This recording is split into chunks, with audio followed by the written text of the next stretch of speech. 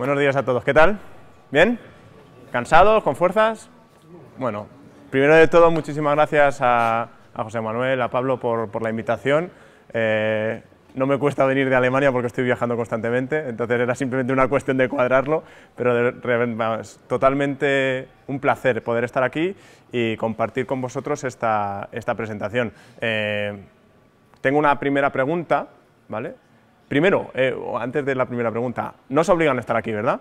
O sea, estáis porque queréis, ¿no? Bueno, eso es, eso es la más, casi la más importante. Y la segunda pregunta, que es obligada, es saber si habéis escuchado algo, habéis oído algo sobre la termografía antes de estar en esta sala. ¿Habéis, mm, ¿Habéis oído por algún lado? ¿Podéis levantar la mano los que a lo mejor hayan escuchado algo? Vale, no está mal. Un, dos, tres, cuatro y cinco. pues ya está bastante bien, ¿no? ¿Qué habíais escuchado? ¿Por dónde os ha llegado la información? ¿A través de eh, redes sociales? Por Power Explosive, ¿no? ¿Y a nivel científico algo? Nada, ¿no? ¿Sí? ¿Sí?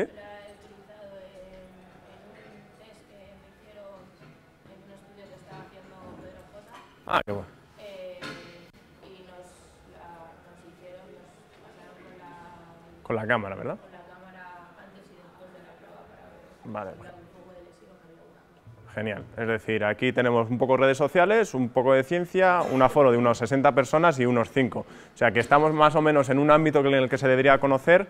La primera parte, eh, que es muy importante, es esa, es haciendo así números a a ojo de buen cubero, aproximadamente un 10% lo conoce. ¿no?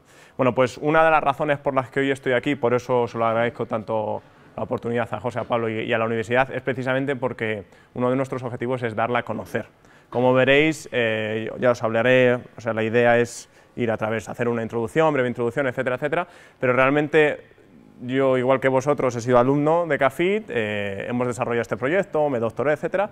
Eh, realmente soy muy autocrítico con la herramienta, porque tiene sus limitaciones y ya las veremos, pero también tiene un montón de ventajas que no se utilizan. Por lo tanto, el principal objetivo es darla a conocer.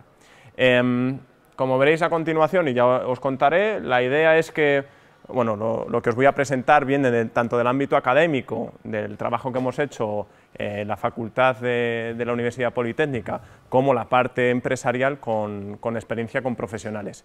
Y la idea es hoy hablar un poquito de introducción, ¿vale? No sabía cómo iba a ser el aforo, no sabía qué perfil ibais a tener, ya me han dicho que sois todos, o casi todos, imagino, que estudiantes de CAFIN, ¿no? He traído contenido, sobre todo parte de preparación física, pero también parte clínica. Y luego la idea es que todo eso eh, nos lleve a poder hacer eh, casos prácticos. Ya veremos cómo, cómo va la noche, ¿no? según cómo vaya la fiesta y lo animados que estéis, la idea es que luego, aparte de todas esas ideas, podamos tener pues, la posibilidad de quien quiera mm, hacer alguna prueba, incluso algún, alguna intervención, ¿vale? Bueno, eh, como habéis visto, la idea aquí es que os introduzca brevemente conceptos básicos, que sí es importante entenderlos, ¿vale? Luego hablaros del desarrollo del proyecto y sobre todo traeros eh, directamente aplicaciones y ejemplos. Si queréis interrumpir, sin ningún eh, problema, en cualquier momento. ¿vale? Em, sobre la introducción, nuestra propuesta y el título de, el título de la ponencia, el objetivo principal de la empresa, etcétera, es, tiene como principal objeto siempre el problema de las lesiones. Eh, la verdad es que, evidentemente, en este foro, pues, ¿dónde lo vamos a entender? Pues en un, contexto deportivo, ¿no? Eh, por ejemplo, en el fútbol tiene una prevalencia del 16% en, en, plantillas de primera división. Pero al final no nos engañemos, eh, no es una cuestión que solo se circunscribe al ámbito del alto rendimiento. las lesiones es una cuestión que vamos a tener nosotros mismos como deportistas y el entorno que tenemos, ya sea de gente que haga deporte o con la que trabajemos, e incluso de la población normal. Eh, y la propuesta que tenemos eh, se basa en esta tecnología. Como preguntaba, ¿quién la había escuchado? Pues ya hemos visto que aproximadamente un 10% del foro ya es algo, a lo mejor hace cinco años nadie hubiese levantado la mano, y desde mi punto de vista lo más atractivo es el hecho de que, es, una, es, una, tecnología que es rápida de utilizar y sobre todo no invasiva. Em, cuando nosotros tenemos que hablar de qué es, eh, cuando dicen, bueno, vale, perfecto, lo que no, he ido a una charla de termografía infrarroja y, y, la primera pregunta es, bueno, ¿qué es? Pues he traído aquí la cámara, que luego la, la podremos ver mejor. Realmente es una cámara que lo que hace y lo que nos permite es medir temperaturas. ya está, punto, no hay más. Es decir, cada objeto, eh, independientemente de si es humano o inanimado, eh, desprende una radiación, que es lo que veremos ahora. Y esa radiación tiene una relación directa con la temperatura y la cámara lo que hace es capturar la radiación y mostrarla a través de, en este caso, de, de una imagen en colores, lo cual es muy interesante porque en comparación con otras tecnologías hace que su interpretación sea relativamente intuitiva. No hace falta tener mucho conocimiento ni un doctorado para saber que lo caliente es rojo y lo azul es frío. Entonces, eso es una de las principales ventajas, el hecho de que, de que la termografía eh, se presta mucho a, utilizarla porque es muy intuitiva. Y si la comparamos con, a lo mejor con unos rayos X, a lo mejor, pero si te vas a una ecografía o a otras herramientas diagnósticas o clínicas, eh, pues a lo mejor es más compleja. O desde el punto de vista de la preparación física, si tú coges los datos de un GPS, pues, pues a lo mejor te puedes volver loco para intentar sacar información. Y aquí, simplemente con, con, la toma de una imagen, ya se pueden empezar a, a, obtener resultados.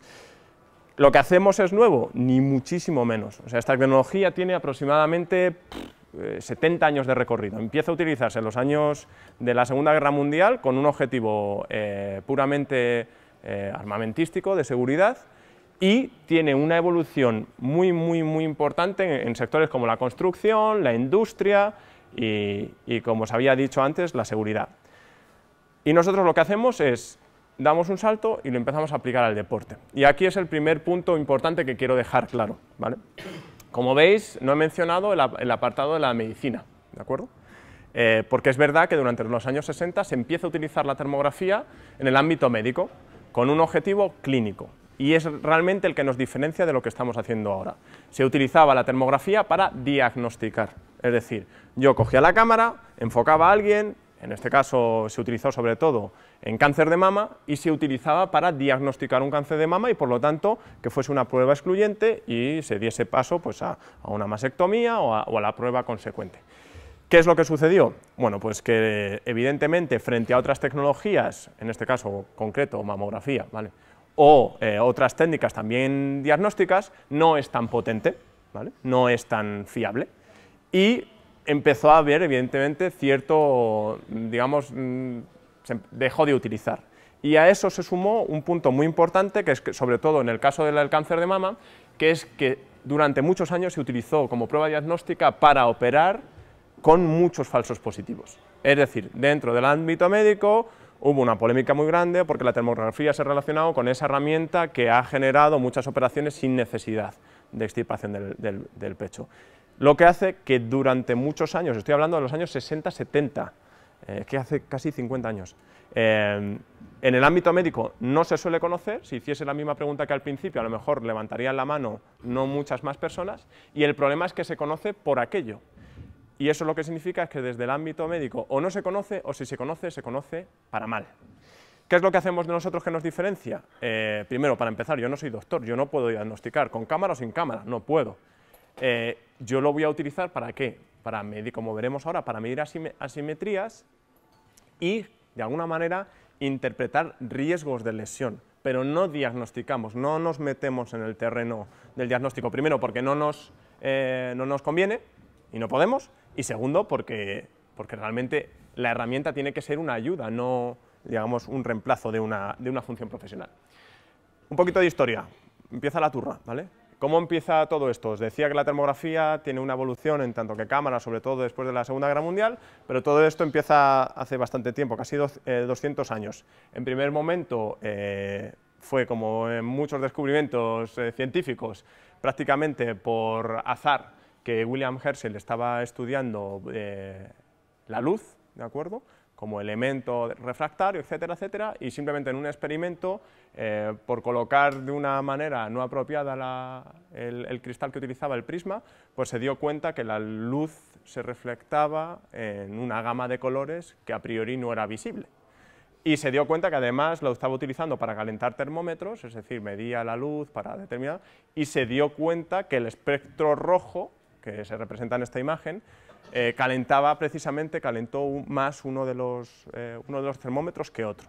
Entonces, él empezó a conjeturar que efectivamente había una parte no visible de una radiación que no se podía ver, que estaba relacionada con la temperatura. Y es su hijo, 40 años después, el que es capaz de generar el primer termograma, es decir, la primera representación eh, de eso, que en ese momento evidentemente se intuía, pero no se conocía, y es que existía una radiación, un rango no visible, que estaba relacionado con la temperatura. De ahí a qué pasamos? Pues al primer radiómetro eh, prácticamente de contacto, que es el que se genera en 1929, que sigue sin ser termografía en tanto, ¿por qué? Porque era de contacto, es decir, una herramienta para que nos entendamos un termómetro, ¿de acuerdo? Lo que pasa es que en vez de utilizar, en este caso, eh, pues un termómetro de contacto, utilizaba precisamente la radiación, se aplicaba sobre, sobre la piel y la medición de esa radiación en un entorno cerrado, si veis, era una especie de pistola, pues medía la temperatura. Y es realmente entre eh, las primeras aplicaciones se hacen a nivel militar y siguen siendo hoy a, nivel de día, a, nivel de, del entorno público, siguen siendo eh, secretas, pero es durante los años que van entre 1940 y 1970 cuando se desarrollan pues sobre todo en el entorno militar, como os había dicho, pues ya cámaras que van incluidas en visión, en nocturna, en cascos, que van incluidas en, cabezas de misiles, y ahí es donde tiene gran, una gran evolución. Y os traigo el de 1985, que es lo más parecido a lo que os acabo de mostrar, ¿vale? que era una cámara, si veis, una especie de trípode con todo este refrigerador, la pantalla por un lado, el detector por el otro, y eso es realmente la primera aplicación de entorno médico móvil. ¿vale? Eh, y de ahí damos al salto a esta cámara que veis aquí, que es la primera que, se ha hecho exclusivamente pensando en el deporte y, eh, el ámbito médico. ¿vale? Como veis, la tecnología va avanzando y, sin embargo, sí hay que decir que prácticamente los últimos 30 años, eh, y os voy a poner un ejemplo muy simple, todos os recordáis, ¿os acordáis cuando empezábamos a hablar de mi cámara tiene un megapíxel o dos megapíxeles o no sé qué, ¿no? Que ahora las cámaras de los móviles, ¿cuántos tienen? 12, ¿no? Más o menos, para darnos una idea, o incluso más, ¿eh? más para arriba, ¿no? Bueno, es, las cámaras que empezamos a utilizar nosotros en laboratorio hace 10 años o 9 años cuando empezamos, tenían una resolución de 320 por 240 píxeles, que es un tercio de megapíxel, ¿vale? Eh, nueve años después, esta cámara, que es un pepino y está genial, sigue teniendo la misma resolución hablando de resolución en píxeles. Es decir, la tecnología en ese sentido, aunque avanza y es más intuitiva, eh, no tiene una línea ascendente, una evolución tan eh, desaforada como a lo que estamos a lo, mejor acostumbrados con ordenadores o con móviles. Em, y lo que os venía a decir también es muy importante entender lo del apartado de la radiación. Eh, es el típico dibujo que, utilizamos para, para ilustrar eh, no quiero de verdad, que no quiero dar mucho la turra, pero es, importante para entenderlo. Al final nosotros, dentro del espectro electromagnético, el espectro electromagnético es simplemente la manera que tenemos de medir las, diferentes radiaciones que existen. Las radiaciones dependen de ondas, y no voy a entrar ahí a la longitud, eh, frecuencia, etcétera, etcétera, pero seguro que a todos os suena, eh, pues eso, los rayos gamma, los rayos ultravioleta, los infrarrojos que en este caso, ¿vale? y la radiometría. Pues al final todo depende un poco de esa longitud de onda. Y nosotros, nuestro ojo, realmente solo puede ver una franja muy, muy pequeñita. ¿de acuerdo? Eh, de ahí nosotros extraemos las dos, digamos, las dos vertientes, que es todos los colores que vemos, de lo, más eh, ultravioleta, ¿de acuerdo? De lo más violeta a lo más rojo. Esa pequeña franja eh, representa aproximadamente un 1% de todo el, espectro electromagnético. Y lo que se va a los lados son cosas que no vemos y están ahí y que son todo ese tipo de radiaciones. Eh, realmente el ojo humano eh, pues puede ver los colores y cuando nos apagan la luz, por ejemplo, es cuando nos vamos hacia un poquito el espectro, efectivamente, nos acercamos hacia el infrarrojo porque no se reflecta, entonces no podemos ver. Y, por ejemplo, las, si hay otros animales que tienen la posibilidad de captar un poquito más esas ondas, ¿de acuerdo? como por ejemplo una serpiente, y tienen realmente una capacidad como la de la cámara, y es ver el mismo animal ¿de acuerdo? con esa radiación. Al final, la radiación, como he dicho antes, la radiación, todos los objetos emiten radiación y simplemente lo que hace esa cámara es captar, como hace el ojo de la serpiente, una radiación que nuestro ojo es incapaz de ver. ¿vale?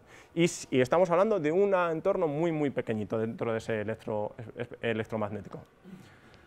¿Qué es lo que hacemos? Pues realmente, cuando vemos la radiación, lo que representamos en colores es la temperatura. ¿Por qué? Porque, como he dicho antes, la radiación, a mayor radiación, ¿de acuerdo?, mayor temperatura. Y por eso nosotros lo representamos en colores que hacen que las zonas que menos radian sean las que estén más frías, que aquí se representan con, pues como veis en esa rodilla izquierda, con tonos oscuros, azules, violetas, y las zonas más, eh, más calientes, que son las que se, representan con tonos rojos, amarillos.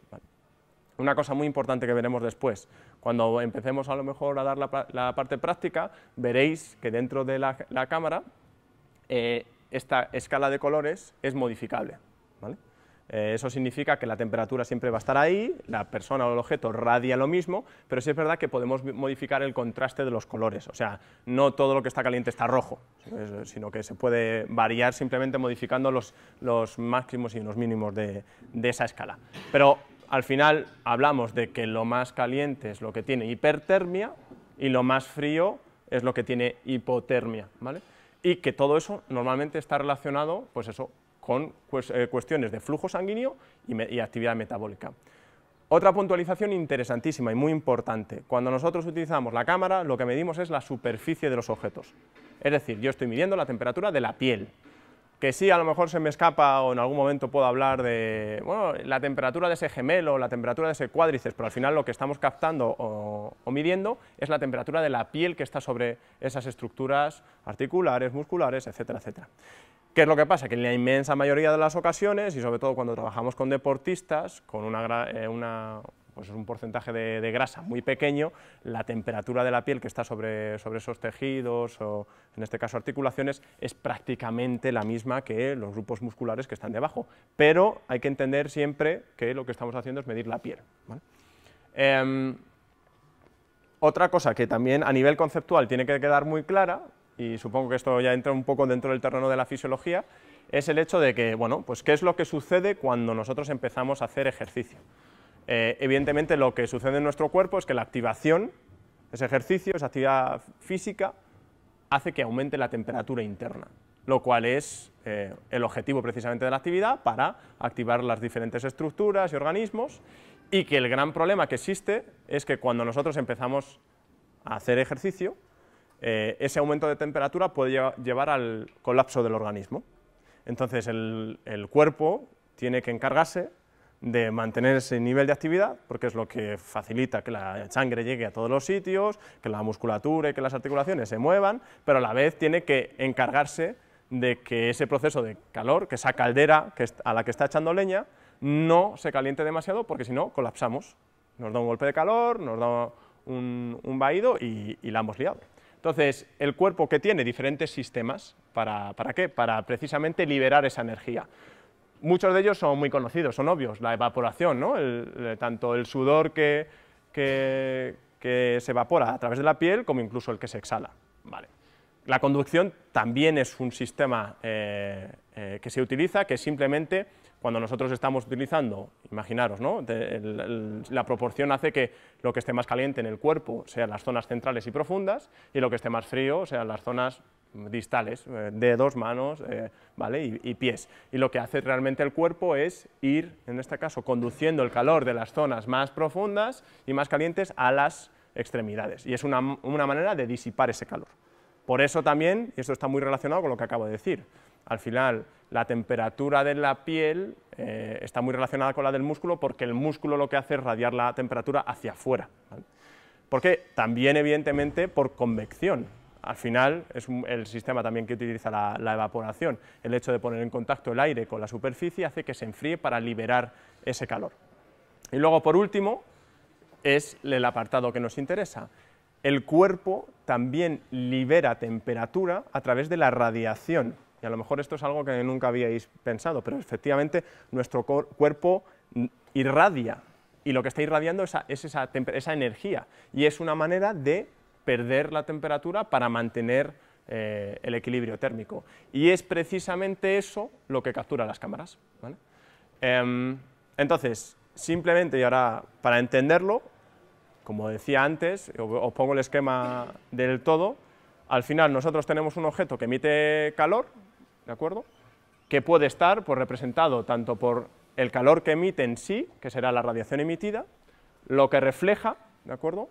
Y lo que transmite. Eh, ¿Por qué os explico esto? Eh, porque también es un concepto que está relacionado con la siguiente diapositiva, ¿vale? que es la emisividad. Eh, y juro que después de esto ya se, se acaba un poco la, parte más turra y más, más, teórica, pero es muy importante esto. Este es el ejemplo de, un experimento muy, muy simple que se hace para, para mostrar que, como he dicho antes, la radiación de los cuerpos, de todo el cuerpo, todo material, independientemente si es piel, si es una taza o si es la pared, emite una radiación. ¿no? Pero es verdad que no todos los materiales emiten de la misma manera. ¿Qué es lo que sucede? Este es el, caso de una taza metálica que tiene una pintura eh, en uno de sus lados y que se rellena de agua caliente, muy caliente. Entonces, ¿qué es lo que sucede? Que, que yo enfoco con la cámara termográfica y lo que me está diciendo ahora mismo la cámara, si veis la, escala de calor que pone 61 grados hasta 13. ¿no? Entonces lo que me está diciendo es que la, pintura está a 50 grados, pero la taza, oye, increíble, ¿eh? se mantiene a 10 grados, es espectacular. Entonces, ¿qué es lo que está sucediendo ahí? Pues la primera reacción, eh, la mierda de cámara esta ya no me sirve, ¿no? no me está diciendo, toda la taza está caliente. Lo que sucede es que el metal tiene una emisividad muy baja, quiere decirse que en vez de emitir, como habíais visto las diferentes maneras de, regular la temperatura y la energía, esa, capacidad de radiar la tiene muy limitada. ¿Y qué es lo que hace? Reflejar lo que hay en el entorno. Entonces, realmente lo que está haciendo esa taza, y si os dais cuenta, se ven los brillos aquí, en este lado de aquí, es un espejo, lo que hace es la radiación del entorno, la refleja y sobre su propia radiación apenas emite nada. Sin embargo, la pintura que está aplicada sobre la misma taza, al tener un material que es mucho más em, eh, eh, que, tiene una emisividad mucho más alta, pues lo que sucede es que realmente nos está contando la temperatura de esa taza. Eh, ¿Por qué es importante esto? Para entender, yo siempre lo pongo un ejemplo, una metáfora muy sencilla, que es la, en vez de llamarlo emisividad, lo llamamos sinceridad. La radiación es la manera de contar al mundo la temperatura que nosotros tenemos. ¿no? Pues hay materiales que son más mentirosos, es decir, que tienen una emisividad más baja y lo que hacen es contar mentiras porque cuentan la, temperatura que hay en el entorno, pero no la propia, y hay otros materiales que tienen una radiación muy, alta, una emisividad muy alta, es decir, que apenas reflejan nada y que todo lo que irradian prácticamente es su propia temperatura. Y ese, y es la buena noticia, es el caso de la eh, piel humana. Esto se mide de 0 a 10, eh, perdón, de 0 a 1, ¿de acuerdo? Y la emisividad de la piel está en torno al 0,98. Es decir, prácticamente nuestra piel no refleja prácticamente nada del entorno. Y todo lo que nosotros capturamos con la, cámara es la temperatura real. Sigo. Vale, y ahora, dicho lo cual, entramos en el terreno un poco más que nos compete, ¿vale? Que es realmente, vale, me has contado, Ismael, perfecto, la turra perfecta de la teoría y ahora mm, danos chicha, ¿no? ¿Cómo utilizamos, eh, cómo, realmente cómo utilizamos la termografía? ¿Para qué nos sirve? Estoy convencido que todos, prácticamente en esta sala, seguro, en algún momento de nuestra vida nos hemos encontrado un poco más pachuchos o menos, o simplemente sin ganas de ir a clase, ¿no? Entonces, eh, ¿qué hacemos? Pues llegamos y decimos, oye, mamá, por favor, ese termómetro que me va a salvar a mí, ¿vale?, de poder ir hoy o no a clase porque es la excusa perfecta. Em, ahí realmente lo que estamos haciendo es que es medir la temperatura, ¿vale?, y saber en función del resultado si estamos malos o no, ¿no? Es más o menos esa lógica, ¿verdad? Em, bueno, pues lo que nosotros hacemos con la termografía es prácticamente lo mismo que lo que hacemos con ese termómetro, pero en vez de utilizar simplemente un punto de contacto, ya sea la boca, ya sea la axila, lo que hacemos es poner tantos termómetros como píxeles tiene una imagen.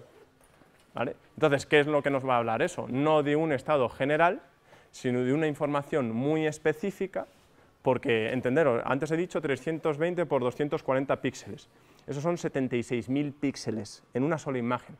Eh, por lo que si dividimos el cuerpo, entended que pues eso, un hombre puede tener 2.000 datos de información y cada dato es una temperatura. Y lo que hacemos nosotros, ¿de acuerdo?, es, que ya lo veremos después, principalmente comparar el lado izquierdo con el lado derecho. ¿Por qué? Porque a priori debemos estar simétricos y cuando existen precisamente asimetrías es cuando entendemos que puede haber procesos de sobrecarga, compensación, desequilibrios o relacionados con, aspectos inflamatorios, etcétera, etcétera, que nos están avisando de que una zona está enferma, que tiene fiebre, o por lo contrario, que tiene mucho frío, ¿vale? que ya veremos que hay, dos vertientes. Pero básicamente es la lógica, ¿eh? como veis es muy simple, de hecho es lo que nos sorprendió desde un principio, el hecho de que siendo algo tan simple no se utilice. Eh, cuando nos vamos a, y esto es eh, muy importante, cuando nos vamos a, ver realmente, como había dicho, bueno, nosotros ahora esto lo aplicamos en el deporte.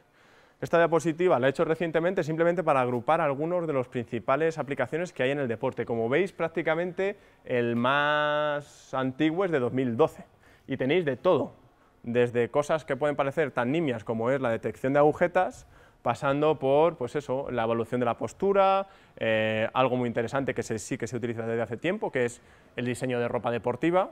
Eh, marcas como Adidas o como Decathlon llevan muchos años trabajando con, esta tecnología simplemente para entender cómo el cuerpo con el ejercicio eh, gestiona el calor y en función de donde se vean las zonas que más se calientan o más se enfrían, diseñar ropa que lo que haga es mantener ese equilibrio lo mejor posible. Pero luego, sobre todo, de todas estas, y que me deja unas cuantas fuera, eh, las que más eh, me llaman la atención, por supuesto, de las que os vendremos a hablar ahora, son las que están relacionadas con procesos lesivos, ¿vale? tanto de prevención como de seguimiento, y luego la parte que, como CAFID también nos interesa, que es la cuantificación de la asimilación de la carga, que es un palabra muy eh, complejo, pero que al, final está muy relacionado con las otras dos. Según mi sujeto, paciente o cliente, vaya realizando el entrenamiento y, asimilando esa carga podré ir midiendo si tiene una evolución correcta o no. Em, de aquí deciros también el, hecho de que, como veis, y es muy importante, es algo muy candente. Es decir, eh, realmente cuando analizaba el otro día con, mi director de tesis, eh, pues eso, no tanto a, a, nivel de experiencia propia lo que nos ha costado publicar, sino simplemente el nivel de publicaciones en el entorno Creo que, pues eso, cuando empezamos en 2010, 2011, el índice de publicaciones aproximadamente de buscando termografía y deporte en, pues eso, en bases de datos como, como Medline, eh, el índice era bajísimo y simplemente en nuestros últimos ocho años ha aumentado, creo que era del orden del 340%. O sea, para simplemente con eso también lo que quiero ilustrar es el hecho de que es una tecnología que a pesar de existir desde hace mucho tiempo, su aplicación en nuestro sector está ahora explotando, ¿vale? está emergente. Em, y ahora lo que os voy a pasar a explicar es cómo lo utilizamos, qué es lo que hacemos. Eh, realmente nosotros lo que desarrollamos y veremos que es muy importante es la toma de imágenes, que es muy simple y como veréis es algo que cualquiera puede hacer, porque al final es una cámara y es tomar una imagen igual que la tomamos nosotros con el móvil. Pues nosotros lo que tenemos evidentemente es especificado un protocolo, una toma de imágenes y qué es la parte importante, porque ya en esta imagen evidentemente nosotros podemos empezar a intuir cosas. Eh, os hago una pregunta, de esto que veis, habéis dicho que prácticamente ninguno ha a hablar de la termografía. Con esa imagen que veis, ¿podéis decirme algo si hay algo que os llame la atención dentro de esas piernas, venga, la rodilla. La rodilla, ¿cuál de ellas? La derecha, ¿no? Bueno, pues eso es algo que, como os, dicho, eh, como os he dicho, sin tener un doctorado, tú ya ves eso y dices, bueno, parece que esa rodilla, ahí hay algo, ¿no? Efectivamente. Esa parte es muy interesante, como decía, se presta mucho a la, utilización. Ahora bien, mi pregunta es, primero, eh, que podría ser, ¿vale? Eh, bueno, ¿y, por qué no la izquierda? Porque está, más caliente la derecha, pero es que a lo mejor el problema es en la izquierda. Y la, segunda, la siguiente pregunta que os haría es, vale, está más caliente, ¿y cuánto más caliente? Porque a lo mejor está, pues eso, 0,3 grados, 1 o 5 grados. Imagino que no será lo mismo, ¿no? Entonces, al final, digamos que nosotros cuando empezamos a trabajar vimos que, efectivamente esta tecnología se presta mucho a una interactividad y a una usabilidad muy fácil, pero que luego hay preguntas que son de perogrullo y es valorar precisamente si lo que estamos viendo es relevante o no es relevante. Y ahí donde entramos, pues en la parte de la cuantificación. Eh, y eso es lo que nos ha costado tanto. Eh, precisamente como os comentaba antes, como esta tecnología eh, no se utiliza y además no tiene muy buena prensa, pues genera normalmente rechazo. y entonces, muchas veces cuando hemos ido a muchos foros eh, a presentarlo a equipos de fútbol, a centros clínicos, bla, bla, bla, bla, incluso a congresos eh, científicos, eh, claro, la primera pregunta, bueno, ¿y eso, ¿y eso está validado? Por supuesto que está validado, es como un termómetro, mide lo que dice medir. Ya, pero ¿y eso no sé qué, no sé cuánto? Entonces, al final es normal y a nosotros nos encanta ver que efectivamente se, se critica y se pone en tela de juicio lo que hacemos. Y precisamente por eso lo que hemos hecho es desarrollar un sistema que lo que hace es analizar automáticamente las imágenes y cuantificarlas, para ver que efectivamente, como veis, lo que hace el, eh, en este caso lo tengo por ahí, lo que hace el, software es identificar las zonas, extraer las temperaturas y comparar de un lado con otro. Evidentemente se ve que esta rodilla está más caliente, bien, pero no estábamos viendo que, por ejemplo, esta pierna está, y ese tobillo está más caliente que el otro. ¿Por qué? Evidentemente y probablemente por una cuestión de compensación. Este es el patrón de una rotura de cruzado y lo que está sucediendo es que eh, pues después de la rotura está, apoyando más con la izquierda. ¿Y qué es lo que pasa? Pues que evidentemente a mí me interesará saber eh, que hoy está a un grado y que mañana está a 0,8 o a 1,2, porque eso me dirá si el trabajo que he hecho con esa rodilla hoy se está eliminando correctamente, se está sobrecargando o no. Y eso nos, evidentemente lo que nos permite es, a través de esos datos y ese informe, tomar decisiones, porque al final esto es una herramienta más, ya está, no hay más. Es un termómetro, para que lo entendamos, que me sirve para, de una manera muy rápida, sacar información. Por eso lo más importante es, es eso, que es, esto puedo hacer, y ya veréis cuando ahora nos pongamos a hacer pruebas, que es una cuestión de minutos, y en minutos puedo tener, de manera no invasiva, datos objetivos. Y ya ahí es donde yo me meto. Aquí no hay, hay médicos, ¿hay algún médico? ¿Médico? Joder, como nos dé alguno un, paro cardíaco, lo vamos a tener mal. Eh, lo digo porque muchas veces, a, mí lo que me ha resultado muy... Preguntaros a vosotros mismos, eh, a, que, a que si vosotros tenéis una lesión, lo primero que os sale es, yo voy al médico para hacerme el qué? Una resonancia magnética, unos rayos, unos rayos, decir, unos rayos X, eh, un TAC, ¿no? ¿Verdad? Son pruebas golden standard específicas para la para diagnosticar. ¿no? ¿Alguna de esas pruebas tiene elementos cuantitativos? Porque la respuesta es no. Eh, de, hecho, el gran problema que hay en el ámbito médico es que una radiografía tú se la das a varios doctores y a lo mejor su interpretación no es la misma. Ahora mismo, esta mañana, estaba, estaba donde, donde el Atlético de Madrid y tenían una resonancia adelante y estaban los dos doctores y los tres fisios y no sabían qué pasaba. Entonces, claro, haciendo un poco de malo, a, mí, a nosotros nos apretáis para que seamos cuantitativos y luego resulta que lo que utilizáis en el día a día es bastante subjetivo. Entonces, eso no, es, no hay que entenderlo como crítica a las herramientas que se utilizan porque sí está validada su sensibilidad para diagnosticar, sino que, que realmente el esfuerzo que hacemos es el hecho de que esto sea objetivo, es decir, que yo haga la foto, que la hagas tú o que la haga José Manuel, da igual porque el resultado va a ser el mismo, esa rodilla está un grado más caliente, punto. Ahora bien, es verdad que luego habrá que interpretar y saber por qué, pero lo importante de esta herramienta y en lo que nos hemos concentrado es que en que sea objetiva. ¿eh? ¿Para qué? Para que no sea eh, debatible. Y bueno, pues como ahora veremos, realmente lo que hemos desarrollado es un, un sistema que nos permite ese análisis, ¿vale? y generar, como había dicho antes, simplemente información térmica, que en función pues eso, de las variables como el dolor, la sobrecarga, etcétera, etcétera, pues nos permite gestionar valores de riesgo de lesión o riesgo térmico. Ahora, la pregunta, ¿quiénes somos? Vale, esto es un poco parte de la promoción, ¿no? pero, pero yo creo que es, también interesante entenderlo porque eh, me hacía mucha gracia. ¿Cómo se llama la asignatura? Bueno, pues todo esto empieza en una asignatura que se llamaba Nuevas tecnologías aplicadas a la investigación. Eh, eh, cursando el máster de, la Universidad Politécnica, Manuel Sillero, que era el profesor de esta asignatura, eh, pues el grupo de alumnos que estábamos dentro del máster de investigación, simplemente nos planteó para el trabajo dentro de la asignatura la cuestión de, bueno, en cada una de vuestras líneas de investigación seguramente tengáis problemas, ¿no? Entonces, me gustaría que pensaseis en alguna tecnología que pudiese solventar ese problema. Y mi compañero con el que hice el trabajo, pues en ese momento, Pedro, Pedro Gómez Carmona, estaba trabajando con, con la cantera del Getafe y tenía su línea de investigación enfocada a la detección de talento. Y para eso, pues lo que hacía era diferentes pruebas psicológicas, pero también de rendimiento. Y, los mamones de los niños, los lunes, cuando tocaba hacer las pruebas, pues siempre estaban lesionados ay, que me duele, ay, es que no sé qué, no sé cuánto, ay, que no puedo, ¿no?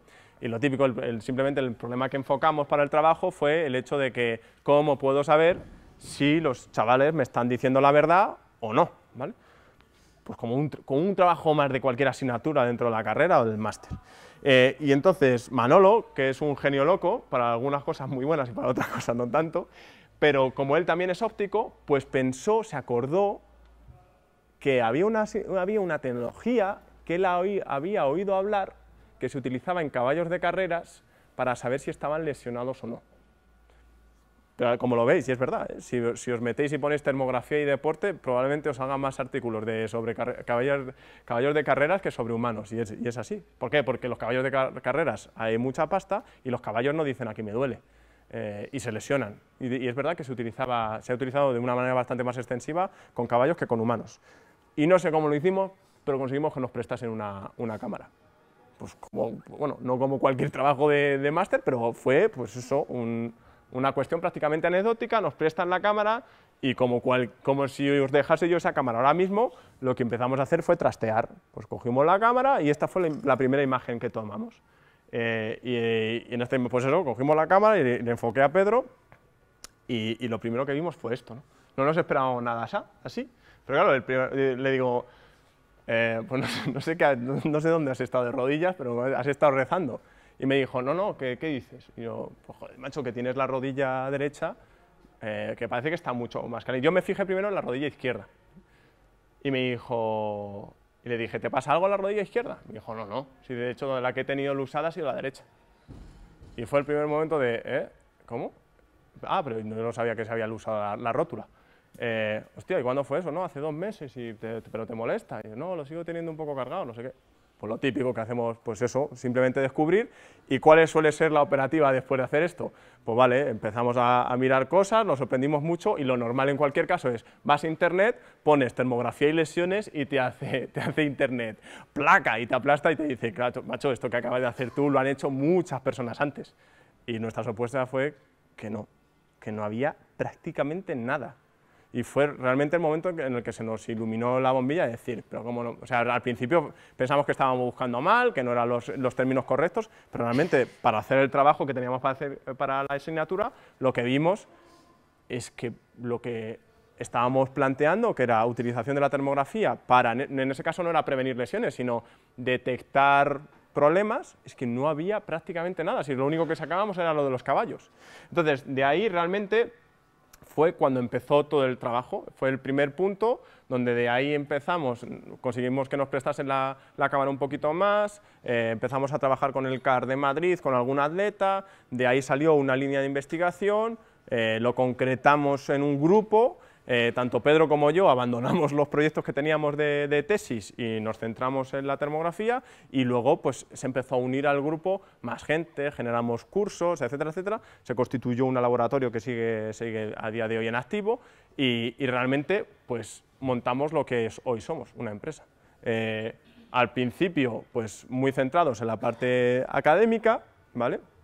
En 2011 formamos parte de un departamento de, desarrollo de, startups dentro de la Universidad Politécnica, nos fue muy bien, eh, luego ahí ya nos creímos que estábamos montados en el dólar, acabamos las tesis, nos pusimos a trabajar, no se nos dio tan bien, que eso también es otra cosa para dar otra ponencia otro día, pero bueno, el, caso es que, lo intentamos y, no, no, fuimos capaces un poco de, pues de hacer de rentabilizar o de monetizar esa empresa, y durante unos años nos hemos estado dedicando de manera paralela. Eh, Pedro ha estado trabajando con, con, equipos de fútbol, yo personalmente he estado viajando, formándome a nivel de desarrollo de, negocio, eh, Javi, que es otro de los integrantes, de hecho a día de hoy sigue trabajando, es preparador físico de la selección de básquet mexicana, bueno, estamos un poco eh, esparcidos, pero todos hemos mantenido la vinculación con el proyecto. Y de ahí pues lo que hicimos fue integrar a dos compañeros ingenieros, eh, darle un lavado de imagen a la, empresa y sobre todo ha sido este último año, eh, os hablo de, desde pues, prácticamente el último año, desde 2017, cuando por fin hemos empezado a ver que aparte de haber más publicaciones y aparte de que sí la gente empiece a hablar, se ha concretado en oportunidades de negocio y sobre todo en que grandes equipos a nivel europeo y español empiecen a optar eh, por, por, esta tecnología. Eh, bueno, pues hemos trabajado, ya veréis ahora, pues empezamos con el Liverpool el año pasado, eh, hemos salido en varios medios y ah, realmente todo esto está refrendado por datos. ¿vale? Eh, uno de los estudios que hicimos que ha sido más interesante fue precisamente la tesis de, de Peter, eh, que fue en, pues, la presentó en 2012, y realmente lo que hicimos con un equipo de, uno, de estos, el primer equipo de primera división que empezó a utilizarlo, fue comparar las, los datos de lesiones que habían tenido durante la, durante la primera pretemporada y la intervención en la segunda eh, pretemporada para ver las diferencias que había se utilizaba la cámara todas las mañanas para evaluar a los, eh, a los alumnos, a decir, a los jugadores, y en función de los resultados se tomaban decisiones a nivel de tratamiento, con fisioterapeutas, y a nivel de entrenamiento, con la preparación física. Y la reducción de lesiones fue hasta de un 90% en la, cantidad de días de, lesión. Eh, con todo esto, lo que también quiero deciros es que los datos, como veis, estaban allí desde 2012 no, es algo que esté surgiendo ahora. Las tesis, nosotros hemos publicado, hemos defendido siete tesis doctorales y hemos publicado más de 35 artículos de impacto. Es decir, eh, los datos y los resultados están ahí.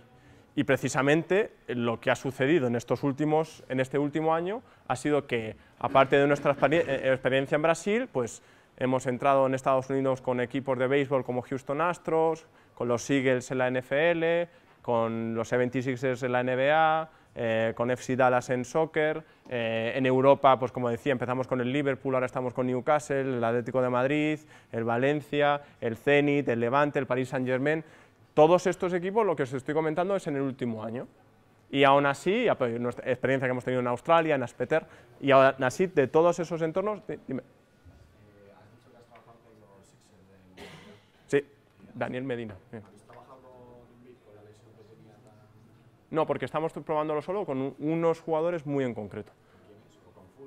Están, están, trabajando sobre todo con cantera, ¿vale? lesionados en cantera y con algún jugador. El problema que hay en la NBA es que los, los agentes de los jugadores tienen potestad para decir si se utiliza o no la herramienta. Y creo que en ese caso que me cuentas, no lo sé en concreto, pero creo que, es, es, curioso porque, bueno, eso ya es, eso, es otro, apartado totalmente diferente, pero mm, sea no útil la tecnología, muchas veces el problema que nos encontramos en entornos de alta competición es que se, que se te escapa de las manos. Eh, es decir, al final tú lo que estás haciendo es dar una información que puede ser relevante para que un jugador juegue o no. Y, y, claro, eh, eh, pues a lo mejor el jugador se niega, el propio equipo médico o el equipo técnico o no le interesa, o no, es tan, no es tan fácil, ¿vale? Pero sí nos encontramos con, con, cosas así y muchas veces lo que estamos haciendo en muchos de esos equipos son eh, pruebas, o sea, el, equipo llega y dice, no, no, este año lo vamos a utilizar solo con los lesionados, o, como nos ha pasado muchas veces, con la cantera, el Paris Saint Germain, sobre todo en la cantera, eh, y, prueban y están probando, y, están viendo que salen cosas, pero luego hay otros problemas asociados un poco a la, operatividad y a la gestión, ¿no? Eh, con lo que, quiero, lo, que quiero decir con esta, con esta diapositiva no es el hecho de que wow, estamos trabajando, no, no, eh, lo que os quiero decir con esto es que por fin hay instituciones deportivas que empiezan a apostar por ello. Luego, si queréis, off the record, hablamos ya de eso, de las condiciones y, de otros aspectos relacionados también con la parte económica, porque el, alto rendimiento es, es, en este sentido eh, bastante complejo, ¿vale? Pero lo importante es que por fin, hace ocho años cuando empezamos y el problema ese que tuvimos fue que ni siquiera querían probarla. Y ahora por lo menos sí que están interesados porque nos llaman. Em, y ahora lo que... ¿Tenéis alguna pregunta más? Porque si no empezamos directamente con... Vale, sí.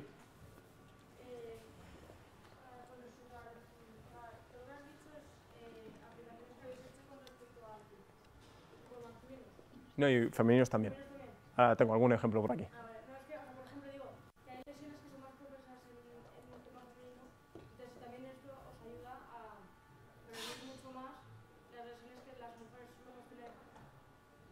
Sí, como el ámbito del fútbol, el cruzado.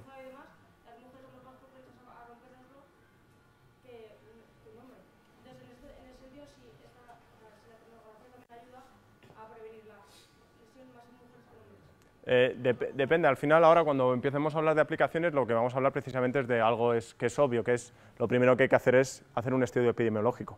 Yo cuando me voy a cualquier deporte o cualquier disciplina, personalmente estoy ahora colaborando con el Centro de Alto Rendimiento en Alemania, ¿vale? Eh, y allí vemos de todo, eh, judocas, eh, jugadores de waterpolo o como me llegó el otro día la Federación de Tiro, tiro. Ni idea el tiro, perdonadme, ni idea, no tenía ni idea. Pero claro, cuando haces, pues simplemente hice las fotos y luego me fui a, intentar sacar datos de, lesiones. Eh, y lo que se ve precisamente, que no lo sabía, pero la gente que está de tiro tiene una posición absolutamente descompensada durante horas sin trabajar normalmente nada de fuerza. Entonces, evidentemente de ahí salen pues normalmente desviaciones de cadera, cuestiones a nivel biomecánico, cuestiones a nivel de, postura y presiones, pero al final lo que haces es, vale, eh, y, lo que tenemos en el software, ¿eh? es con quién estoy trabajando, con jugadores de fútbol, vale, en este caso, que son? Eh, um, porteros, delanteros, no sé qué, y evidentemente hombres y mujeres. Y lo que, lo que hace precisamente el software es integrar los datos de epidemiología para saber qué zonas son más propensas y por lo tanto qué zonas hay que tener más alarma. Pero sí, evidentemente ya no es una cuestión de hombres y mujeres, es una cuestión de disciplinas, incluso dentro de la disciplina no se lesiona igual evidentemente un portero que un delantero.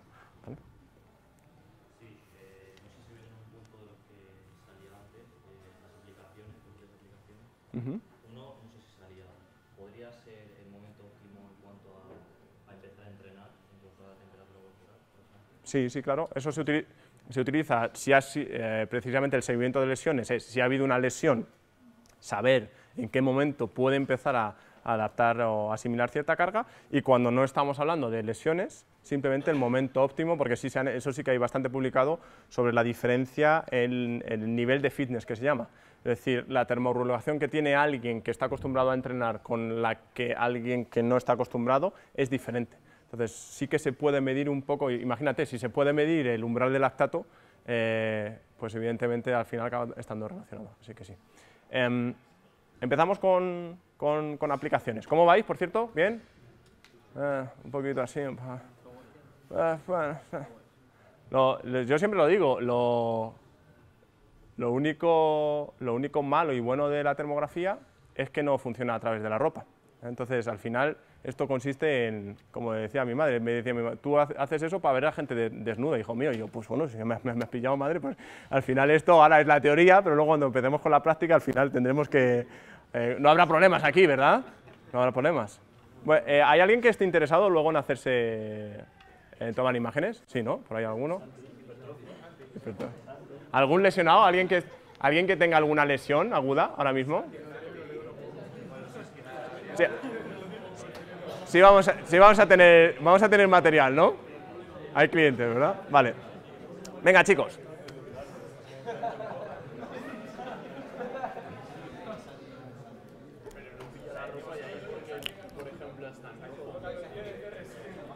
Bueno, chicos, va. Hablábamos de aplicaciones, ¿de acuerdo? Ahora nos vamos a meter un poquito más en, en, este caso en, la parte de ejemplos prácticos para que veáis cómo lo utilizamos y diferentes eh, vías para hacerlo. Como veíamos antes en toda, en toda esta diapositiva, eh, pues realmente existen muchos y nosotros hoy me voy a centrar exclusivamente en ejemplos que hablen de prevención de seguimiento y de asimilación. ¿vale? Cuando hablamos de todo esto, y es una parte también muy importante, eh, por el momento todo lo que os estoy contando os puede parecer maravilloso, ¿no? La, la, isla dorada, el sol brilla y todo es bonito, y os antes os había dicho que yo soy el primero que es muy crítico y que habrá alguna razón por la que si esta técnica es tan maravillosa a día de hoy no se utilice. Y es que hay siempre, como en toda la vida, una cara oculta y en este caso es la de los factores de influencia. El principal problema que tiene la termografía es que cuando la utilizamos en humanos, la piel puede verse, la temperatura de la piel se puede ver afectada por múltiples factores. ¿vale? Eh, y esos múltiples factores los resumimos en todo este mogollón. Los factores del entorno, es decir, lo que puede afectar a la temperatura de la piel en función de si en esta sala hace 10 o 40 grados. Los factores, por supuesto, individuales, y son los que vienen de serie, es decir, si soy chica, si soy chico, si tengo 10 años, si tengo 50, si he tenido una lesión, si no la he tenido, si es por la mañana, si es por la tarde, si, tengo, eh, si me he depilado, si no me he depilado, si me he echado crema, si no me he echado crema, ¿vale? Y los extrínsecos, que son los que hoy he hecho, los, digamos, los, que, los, relativos a lo que he hecho hoy, que he tomado, si he tomado café, si he tomado algún fármaco, eh, si, si he hecho ejercicio, si me han dado alguna terapia, si me he puesto hielo, ¿vale? Todo eso va a afectar y luego, por último, por si no fuese suficiente, también hay factores relativos a si la cámara tiene más o menos resolución, su margen de error, la técnica que utilizo, como veíamos antes, no será lo mismo si hay un análisis manual que si es automático, y entonces después de esta diapositiva me decís, bueno Ismael, que muy bonito, que muchas gracias, que ahí está la puerta, ¿no? Porque ¿cómo carajo voy a poder controlar todos estos factores? Y, es, ahí, aquí está el punto. Y la respuesta es clarísima, yo no puedo controlar todos estos factores. Lo único que puedo hacer es tenerlos en cuenta. Y luego, por supuesto, utilizar eh, métodos que me permitan evitar la parte de la influencia más importante de todos esos. Como os decía, ¿vale? Eh, el gran problema, bueno, eh, la gran tendencia es a utilizar el método cualitativo. Es decir, yo cojo la cámara, tiro una foto y empiezo a interpretar, ¿de acuerdo? y bueno, es algo pues que yo soy el primero que lo utilizo, o sea, no, no estoy diciendo con ello que no se no utilice. Pero realmente donde esto cobra fuerza es utilizando el, cuantitativo. Y cuando hablamos de cuantitativo, ¿es a qué me refiero? A extraer temperaturas máximas, mínimas, medias, deviación típica, tamaño del efecto, etc. ¿Por qué? Porque esta imagen de aquí, ¿vale? Si veis esta escala, esta imagen es la misma que esta. La misma. ¿Habéis visto que ha variado? ¿Os habéis dado cuenta? ¿Sí? Esta y esta son la misma. Y lo único que he hecho, 24, 36, y lo que he puesto es, en este caso 21, 34. He bajado la escala, he aumentado el contraste, y ahora lo que se veía eh, naranja se ve blanco, y lo otro es un... Y lo que es importante, ¿por qué esto es importante? Porque entonces la, interpretación, si solo utilizo el método cualitativo, eh, pues puede ser diferente en función de la escala que utilice. Es más, eh, también puedo utilizar otras paletas de colores, eh, que no solo está el arco iris, que está la de contraste, la, metálica, la de grises. Entonces, al final, utilizar solo un método puede hacer que la utilización, o sea, la optimización, sacar el rendimiento de la termografía esté comprometido. Y luego hay otra cosa más interesante, ¿vale? Y es cómo utilicemos eh, la parte estadística. Os decía antes que cuando nos íbamos a este apartado, ¿vale? Me voy a la diapositiva de, los, factores, este, esta ha sido como mi pesadilla durante años, nuestra pesadilla. Porque dices, madre mía, o sea, lo primero es decir, pero es que esto es inabarcable, si no puedo controlar, ¿cómo voy a poder controlar yo si el tío viene depilado, si no viene depilado, si ha tenido eh, una lesión o no la ha tenido, o si tiene el metabolismo más acelerado o menos? Al final, la inmensa mayoría de esos factores, cuando yo me voy a las métricas cuantitativas que utilizamos, se resuelven con un método muy simple, que es el principal que utilizamos, y es la comparación entre un lado y otro. ¿Por qué? Porque si yo tengo 40 años, voy a tener 40 años a priori en la pierna derecha y en la pierna izquierda. Si hoy he tomado café, el efecto del café va a ser el mismo en la parte derecha que en la izquierda. Y así con casi todos los factores que están relatados en esa, clasificación. ¿Cuáles son los que más me van a interesar? Lo que sean unilaterales. Es decir, por ejemplo, pongo un ejemplo si hay una lesión. Normalmente suele ser unilateral. Me he roto, me he roto el cruzado de esta rodilla. O si eh, he tenido algún tratamiento. ¿vale? Es decir, hoy me han, me han, sé, me han hecho electroterapia o me han puesto tensiomografía en, en, el, en el isquio derecho. O si he hecho ejercicio, porque el ejercicio normalmente no suele ser perfectamente simétrico. Entonces, claro, son factores que te pueden, eh, te pueden eh, de alguna manera engañar. Pero si no, la inmensa mayoría de esos factores se controlan utilizando un correcto protocolo y un método. ¿Cuál es el único fallo de este método? El hecho de que, bueno, ahora me podéis preguntar, vale, perfecto, y si yo ahora me pongo a hacer, yo qué sé, cuatro minutos de comba a lo bestia, eh, me voy a sobrecargar los dos gemelos, pero a lo mejor si lo hago perfecto me voy a sobrecargar los dos gemelos por igual. Y el sistema ahí, ¿qué pasa? ¿Me va a detectar asimetría? Entonces, claro, ahí es donde este sistema flojea y entonces lo que utilizamos son métodos de proporciones. Es decir, como os decía antes, lo más caliente suele ser el tronco, eso, digamos, que se va, va perdiendo temperatura y podemos establecer patrones de proporcionalidad. para que lo entendáis. El, core está al 100% de la temperatura, los cuádriceps al 90%, los gemelos al 80%. Si he estado saltando, saltando cuatro minutos como, como un poseso, pues a lo mejor los gemelos están a la misma temperatura que el abdomen. Por lo tanto, proporcionalmente, dos partes simétricas están subiendo. Y por último, hay un tercer elemento que utilizamos también para ver tendencias, que es el tamaño del efecto. Simplemente es un análisis de la variabilidad de varios datos y eso nos permite identificar cuando simplemente zonas individuales tienen tendencias hipertérmicas o hipotérmicas y eso nos sirve mucho para la cuantificación de la carga.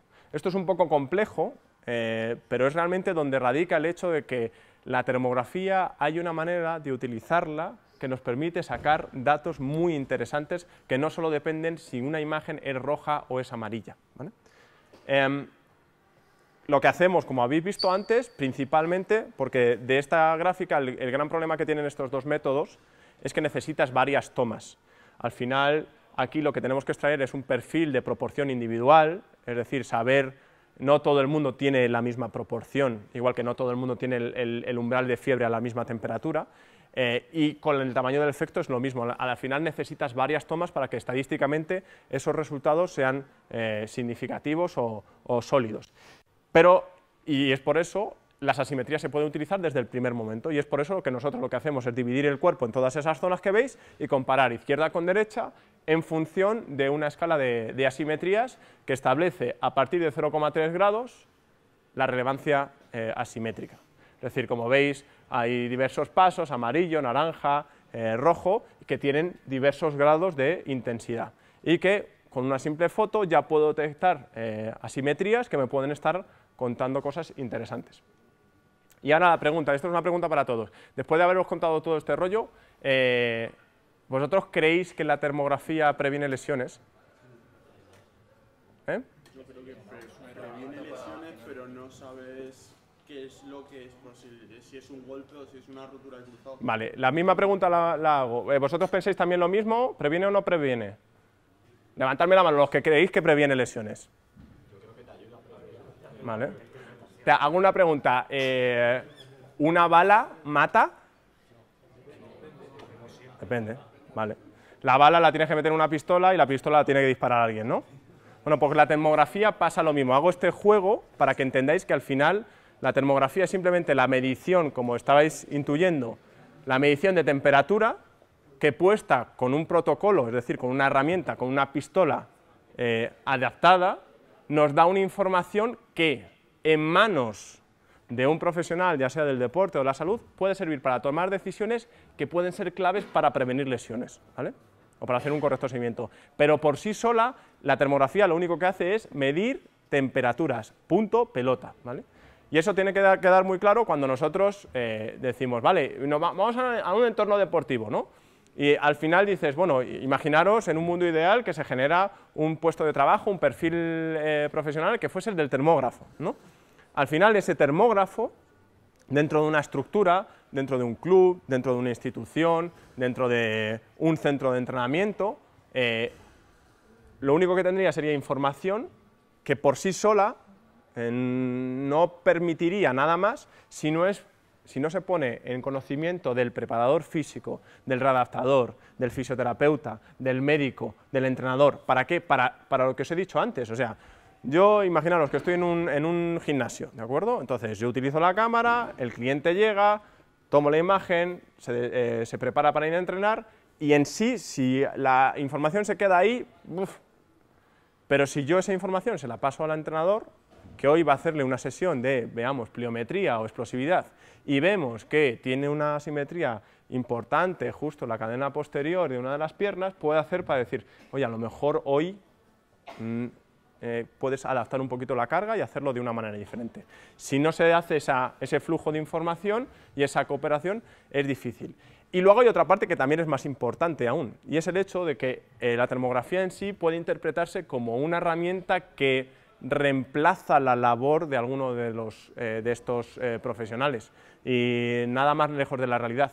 Al final, eh, la herramienta a un médico le puede ayudar a hacer un mejor diagnóstico, a un fisioterapeuta le puede ayudar a afinar el tratamiento y a mostrar lo que está haciendo. A un preparador físico le puede permitir el hecho de que afine mejor las cargas para que estén más individualizadas. A un readaptador le puede servir para cortar los procesos de, lesión y asegurarse de que hay menos probabilidades de, una recaída. Al final es eso, todo ayuda pero no ha llegado la termografía o no se debe utilizar como un reemplazo para poner en tela de juicio si un médico hace bien su trabajo o no, o si un preparador está dando la carga bien o no. No, es simplemente una, herramienta más. E incido tanto en esto porque creo que es muy importante. Y ahora ya vamos a los casos. Empezamos con prevención de lesiones. Em, ¿Qué es lo que pasa cuando ahora, por ejemplo, saquemos la cámara y hagamos una imagen? Eh, la, principal pregunta que me vais a hacer todos vosotros es, vale, de acuerdo, ¿y cuántas imágenes vamos a hacer? O sea, ¿cuánto se necesita? Porque para que esto sea útil, como nos has dicho antes, muchas de las métricas tienes que tener varias imágenes. Entonces nosotros dividimos, digamos, la aplicación que se le puede dar dentro de la prevención de lesiones con una sola imagen, ¿vale? O con varias imágenes. Evidentemente la parte roja es donde más aprovechamiento vamos a tener, cuando existe un seguimiento. Pero con solo una imagen ya se pueden obtener datos que pueden ser importantes, tanto si se está o no se está en temporada, ¿vale?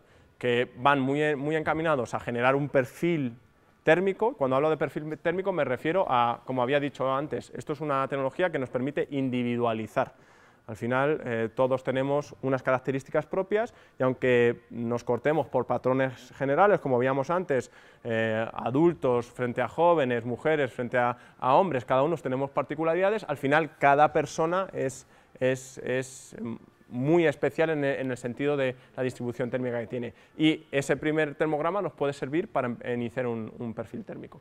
Y por supuesto para detectar problemas ocultos. ¿Y de ahí dónde vamos? Pues a un caso como este. Este es un jugador de primera división, el primer día que llego al equipo le hago una, termografía.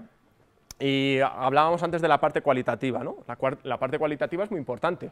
Os vuelvo a preguntar, ¿qué estáis viendo aquí? ¿O qué os llama la atención? ¿Vale? Esta es la parte posterior, ¿de acuerdo? De las piernas. Os está llamando la atención, imagino que esto que se ve, esto que se ve aquí, ¿verdad? ¿De acuerdo? Eh, el jugador no tiene ningún tipo de dolor, es decir, asintomático, ninguna molestia, está perfecto. Y de repente encontramos esto. Lo que hacemos con el software, evidentemente, es cuantificarlo, es decir, saber que es una simetría brutal. Como veis, lo que hace el software es identificar la, forma de los pies y extraer las temperaturas de cada una de las zonas y compararla la derecha con la izquierda. ¿Qué es lo que nos está saliendo? Que toda esta, esta parte del muslo eh, y la rodilla está más caliente. ¿Por qué? Por algo que podemos entender que es un problema vascular. ¿Qué puedo hacer ahí?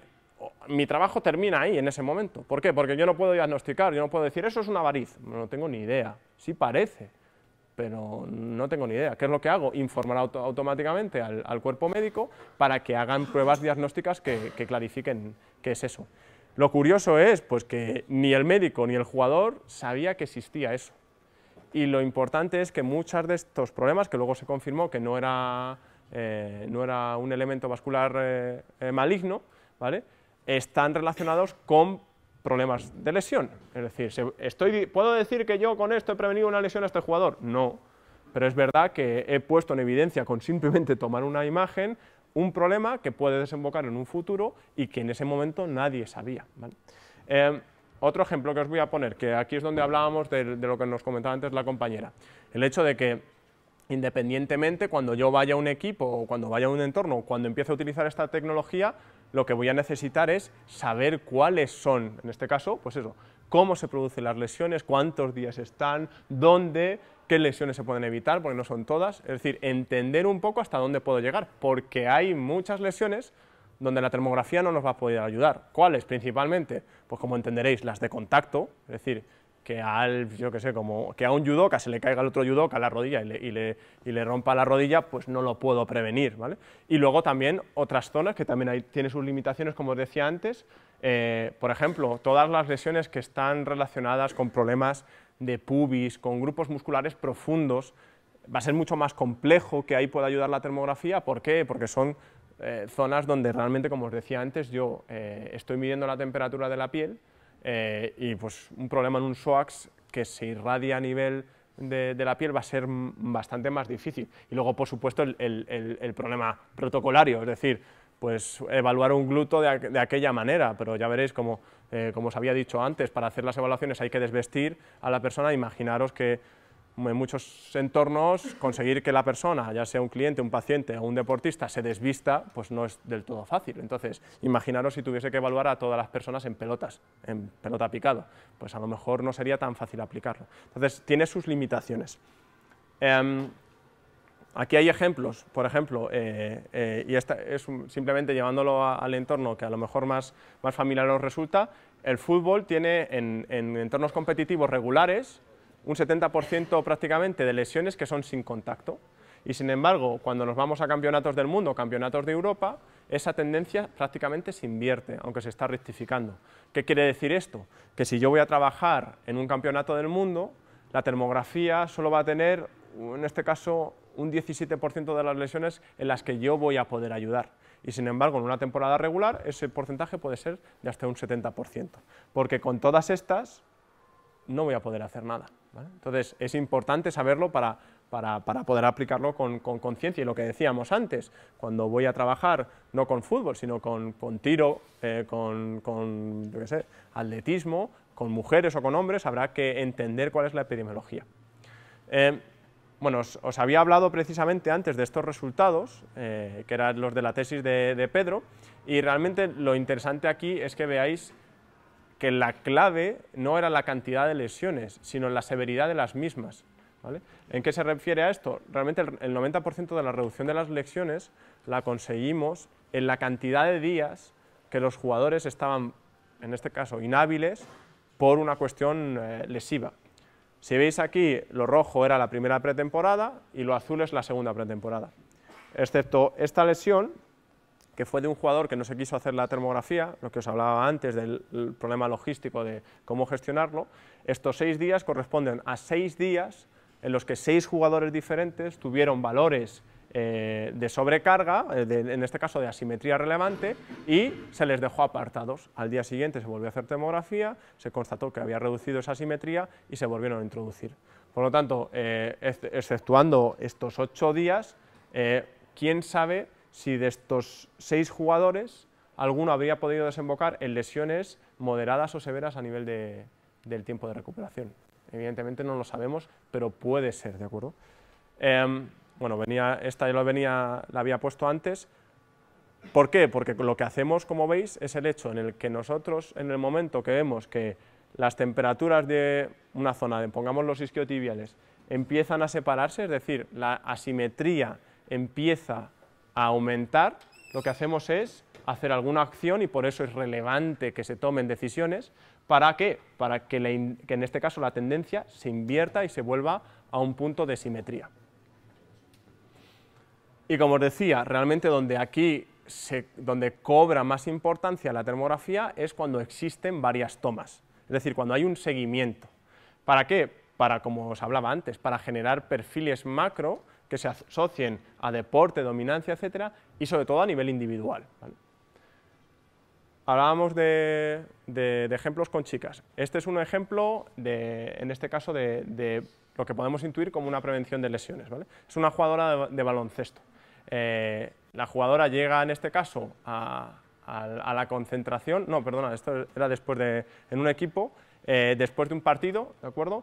Eh, lo que vemos es que con molestias la jugadora nos refería molestias en la parte del isquiotibial.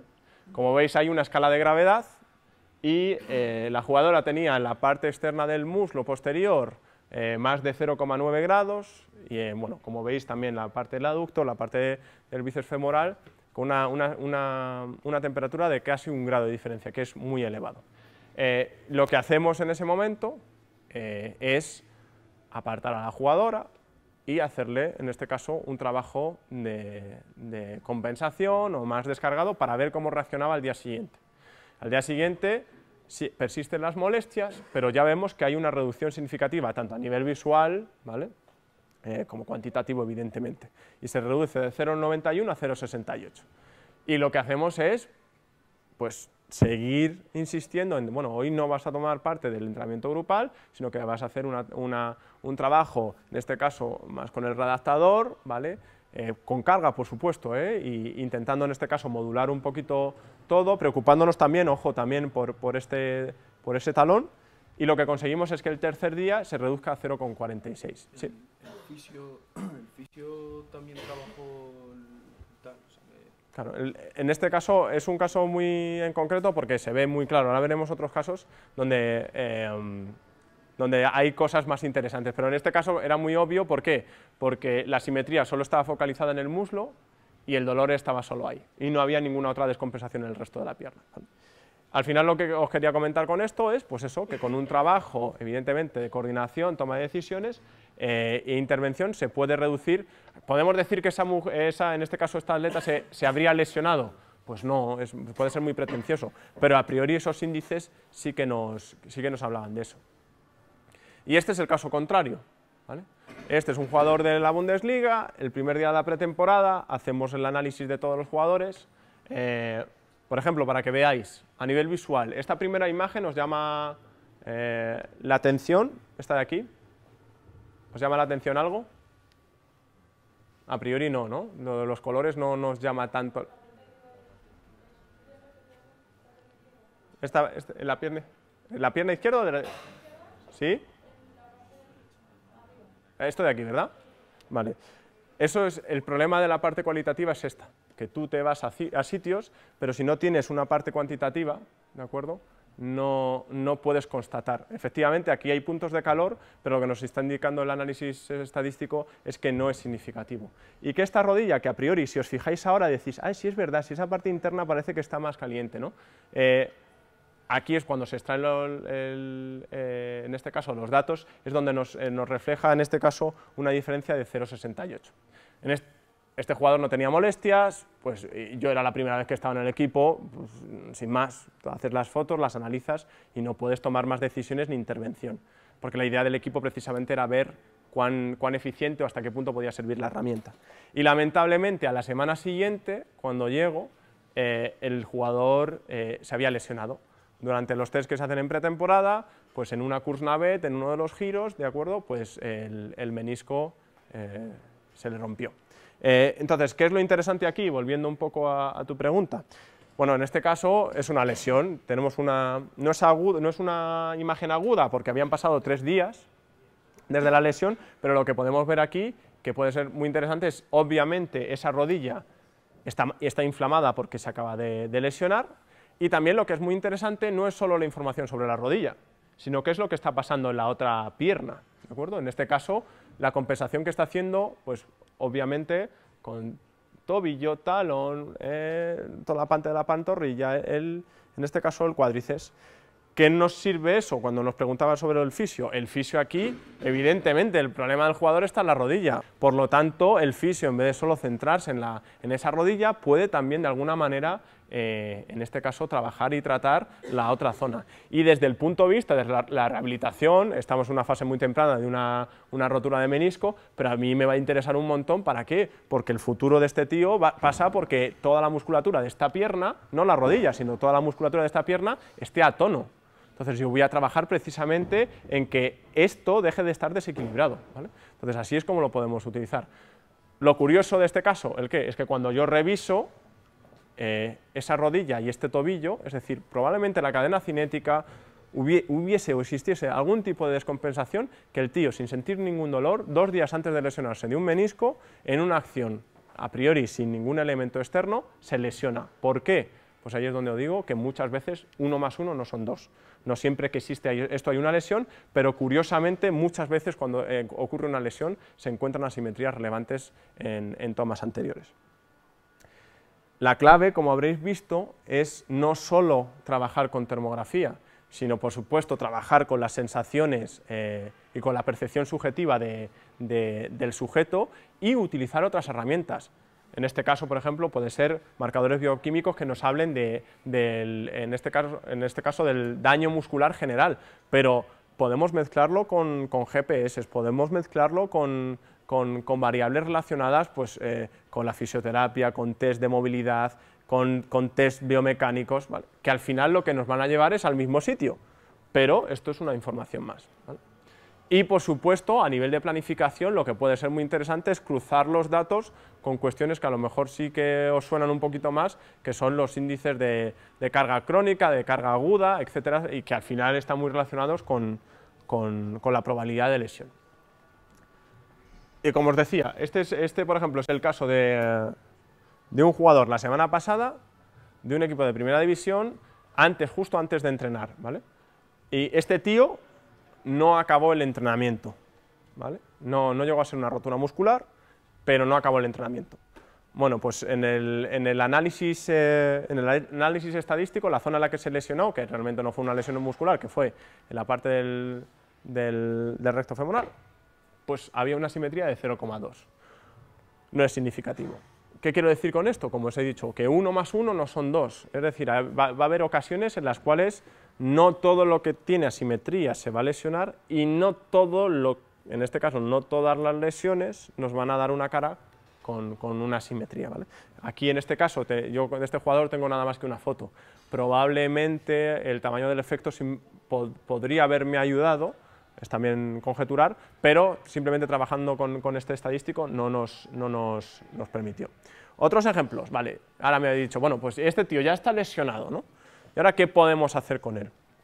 Este es el ejemplo de un compañero eh, que durante la tesis que, que, estaba haciendo, pues estaba formando parte de una toma de datos eh, y que lamentablemente se lesionó, se, se rompió el cruzado, ¿vale? Entonces le dije, macho Jesús, vaya putada, pero qué buena oportunidad tenemos para, hacerte precisamente el seguimiento de lesiones. Entonces, bueno, pues tuvimos la oportunidad de hacerle una foto durante todas las semanas hasta que volvió a jugar al rugby.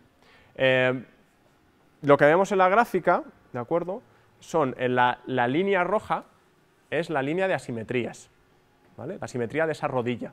Y la línea negra nos indica el dolor que sentía eh, el sujeto durante ese proceso. Como veis aquí al principio, dolor es cero, y llegó un momento, que es esta foto, ¿de acuerdo?, donde tenía una perfecta simetría, es decir, sus rodillas estaban a perfecto, la misma temperatura, una y otra. El día que se lesiona, que es este día, sube evidentemente la simetría, esta rodilla sube prácticamente un grado con dos y efectivamente el dolor se va a rangos de 8, muy alto. Y veis que desde este momento, que es aquí, hasta este de aquí, que es cuando se vuelve, cuando se opera, eh, mi compañero era profesional, tuvo prácticamente que esperar tres meses para que le, le operasen por la seguridad social. Entonces, eh, bueno, pues eh, en otros casos de alto rendimiento son una cuestión de semanas y en este caso fueron tres meses. Sabíamos que era clave el hecho de, estar trabajando la, toda la musculatura de manera preoperatoria para que luego el postoperatorio fuese más rápido. Entonces, como veis, lo que hubo fue un descenso significativo del dolor, prácticamente hasta llegar de nuevo a rangos donde, aunque estaba lesionado, que es esta imagen, que es el día antes de operarse, no tenía dolor y prácticamente no tenía simetría. Y lo que hicimos simplemente, ¿veis la, oscilación de las, de las asimetrías? Que bajan casi a cero y vuelven a subir. Lo que hicimos fue trabajar toda la parte de la preparación muscular y de esa rodilla en función de la sobrecarga que tenía. ¿Qué es lo que sucedía?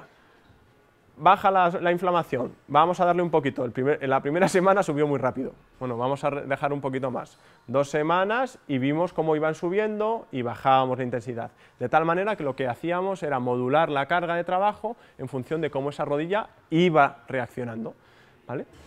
¿Qué es el problema o cuál es el problema?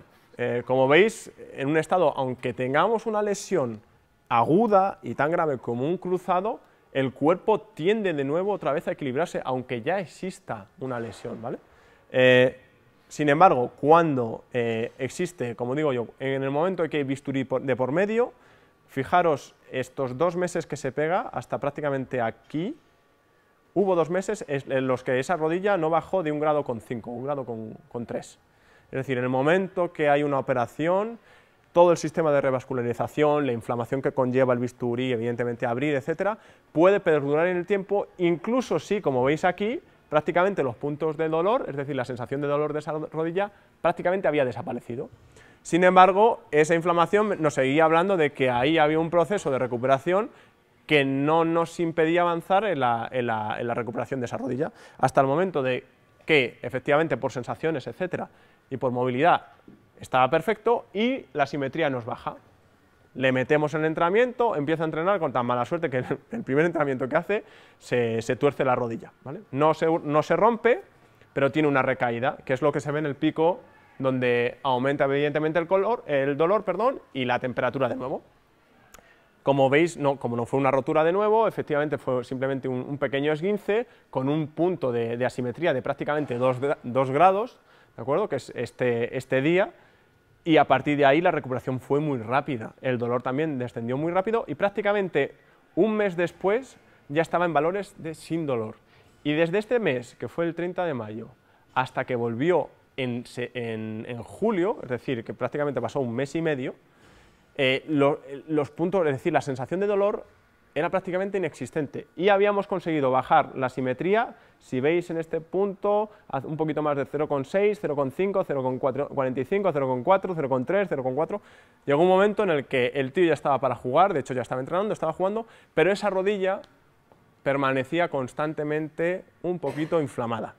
Eh, evidentemente volvió a entrenar, volvió a jugar, todo perfecto y simplemente es un hecho para ilustrar ¿Cómo podemos, utilizando la termografía, modular las cargas de trabajo, gestionar los tratamientos y reducir los periodos? Y otro ejemplo muy importante es el hecho de que cuando hay procesos operatorios, eh, como puede ser una, lesión de rodilla, dejan eh, de alguna manera rastros térmicos que pueden cronificarse. Muy probablemente esa rodilla eh, que vemos aquí se quede siempre un poquito más inflamada que la otra. Por eso será clave saber las lesiones que ha tenido un sujeto cuando nosotros hagamos una, termografía. Este es un, caso eh, también muy interesante porque ahora nos estamos metiendo también en, el análisis de la temperatura de la planta de los pies para hacer el seguimiento, por ejemplo, de una, de una lesión tan recurrente como es una fascitis. Y en este caso lo que hemos hecho ha sido medir la temperatura antes y después de una intervención con fisioterapia y plantillas. Y lo que vemos es que las fascitis normalmente, en función de si es aguda o crónica, pero eh, suelen dar siempre la cara con hipertermias. Esta, ¿de acuerdo? Este es el pie, esta es la fascia que está caliente y como veis las diferencias se cuantifican de manera brutal en, el avatar y luego lo que vemos es que efectivamente eh, conseguimos, eh, ha desaparecido el dolor, ha desaparecido la fascitis, la temperatura también nos permite, y esto también es muy interesante pensarlo desde el punto de vista de, del paciente. Es decir, el paciente no solo siente, sino que puede ver que, mira cómo tenías esa, fascia y mira cómo la tienes. Y, fíjate que estabas todo en negros, violetas y rojos y ahora, de hecho, estás sobrecargando un poquito más eh, la otra pierna. Entonces, también nos ayuda a eh, visualizar esos cambios. Otro caso que es muy interesante, ¿vale? que os voy a ilustrar, bueno, este es un, pequeño artículo que simplemente nos habla de que las fracturas eh, se pueden de alguna manera... Eh, pueden, eh, la termografía puede ayudar el diagnóstico porque una fractura, independientemente de, si es abierta, si es una fractura por estrés, tiene una actividad metabólica y el, edema que se produce se puede ver muy fácilmente. Y que en función de la evolución, en función del momento en el que, en este caso, cojamos al, al paciente, permite hasta 23 semanas después encontrar, eh, en, este caso, em, rastros o asimetrías relevantes. ¿Por qué os cuento este? Este es, este es el caso de, una amiga mía, eh, también de la carrera. Eh, bueno, pues como veis, este esta es la imagen, una imagen basal suya, que lamentablemente en un viaje que hicimos, pues se cayó, ¿vale? ¿de acuerdo? Se cae y se hace una herida, como la que veis, que era esta, de hecho. Em, bueno, se hace la herida y estamos, estamos eh, nos habíamos hecho un viaje a Islandia, ¿eh? no estábamos en Etiopía. Entonces, vamos a Islandia, vamos al hospital, la tratan y la, y la cosen. Yo me acuerdo que la, que la doctora en ese momento palpó y le dijo, no te duele, ¿verdad? Bueno, te duele, ¿verdad? Pero no estás chillando, no chillas. Vale, perfecto. Y cose. Entonces, el caso que fue muy interesante fue que, bueno, la cosieron, evidentemente en una zona tan compleja, una herida, pues es, aparatoso, y pues hay evidentemente una simetría, es obvio. El problema fue que la evolución de, esa rodilla no fue la esperada. Eh, entonces, eh, mi compañera resulta que, pues, que habían pasado las semanas, la herida había empezado a cicatrizar y sin embargo le, seguía doliendo mucho. Eh, y lo que, bueno, le dije, oye, pues voy a hacerte una termo, simplemente para, para ver. Y lo que vimos es que esa rodilla seguía muy inflamada. Em, el caso fue que, claro, yo con esto dije, pero oye, ¿realmente te sigue doliendo? Sí. ¿Y no te han hecho más pruebas? No, no, me han dicho que estaba todo bien, que era simplemente el golpe. Entonces yo dije, bueno, es que estamos haciendo, en este caso, las, fijaros que este dato de 0,15 era del momento basal, tenía un grado y a la semana siguiente volví y tenía 0,8. Habían pasado cinco semanas desde la lesión. Em, curiosamente con eso, pues le dio por ir al hospital y decir, oye, por favor, ¿me podéis hacer algo más? Y dijeron, bueno, pues vamos a hacer una, una radiografía. Y lo que salió en la radiografía es que la rótula se había roto y ya había soldado. Es decir, que había existido en la caída una, una fractura, ¿de acuerdo? Y que nadie se había dado cuenta, nadie, una, también es una, en este caso un error del facultativo, el no hacer más eh, pruebas diagnósticas, pero el caso es que curiosamente los únicos, o sea, la termografía te estaba diciendo desde ya que en esa rodilla sucedía algo, porque cinco semanas después de hacer, de, tener una caída, seguía estando eh, por un grado, un grado por encima. Entonces, ¿Qué quiero decir con esto? Hemos hecho nosotros eh, trabajos, con, por ejemplo, con la Clínica Centro, donde hemos utilizado la tecnología en salas de urgencias. Eh, ¿Para qué? No para decir que cuando yo hago esta imagen pueda decir con certeza hay una rotura de la rótula. No, pero lo que puedo asegurar es que esa rótula o que ahí está sucediendo un proceso agudo inflamatorio que debería ser corroborado y que en este caso, como, hemos visto en este caso, en, este, en, esta investigación, las fracturas suelen tener asimetrías relevantes durante las primeras seis semanas por encima del grado. Es decir, si yo voy a un hospital y pienso que tengo una fractura, me hago una termografía y sale cero grados de diferencia, a lo mejor no es necesario hacer una, una radiografía, porque se puede de alguna manera descartar que hay una fractura. Pero si tengo dudas si hay o no una fractura y me sale una, temperatura de un grado, entonces haz la prueba diagnóstica, ayude al, diagnóstico y eso puede ahorrar tiempos y dinero y también evidentemente reducir en este caso eh, cuestiones invasivas como una radiografía. Pasamos al, tercer punto que es el de asimilación de... ¿Cómo vais? ¿Vamos bien? Nos quedan 15 minutillos. ¿Bien? Ya, ya vamos, ya por favor. Que esté demasiado, es turra mortal. Em, con la asimilación de carga, voy a poner simplemente dos ejemplos muy, muy facilitos. Estuve cuatro años trabajando para la tesis, para tres diapositivas, ¿eh? para, que, para que veáis. Eh, lo que hicimos de, cara a intentar evaluar cómo la termografía nos podía servir para valorar cómo un entrenamiento produce eh, respuestas, fue simplemente pues, mezclando diferentes tipos de entrenamiento y valorándolos con termografía. ¿Qué es lo que hicimos? hicimos una estructura similar, es decir, una prueba, una termografía antes de entrenar, inmediatamente después, y una vez cada ocho horas hasta, eh, pues hasta el final del día. Y lo hicimos con un grupo de sujetos que hicieron un entrenamiento de resistencia, ¿vale? un entrenamiento de fuerza y un entrenamiento de velocidad, en días diferentes, ¿de acuerdo? Eh, todos ellos, los tres tipos de entrenamientos, aunque eran totalmente diferentes, tenían una intensidad moderada, es decir, una intensidad controlada y una duración similar. Este fue el resultado. ¿vale? Eh, lo que veis en la izquierda, esto de aquí, ¿vale? es el patrón de alguien antes de entrenar. El resultado siguiente es el resultado después de haber corrido 45 minutos, con un aumento significativo de la temperatura. El siguiente también tiene un aumento, pero no significativo, de la temperatura después del entrenamiento de fuerza.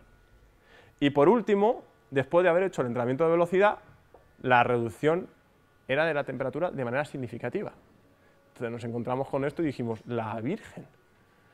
Bueno, al de la derecha no lo toco ni con un palo, pero eh, ¿por qué? ¿Por qué sucede todo esto? Lo más curioso fue el hecho de que todos y cada uno de los integrantes de los tres entrenamientos a las 8 horas tuvieron un aumento significativo de la temperatura. ¿Qué nos indica esto?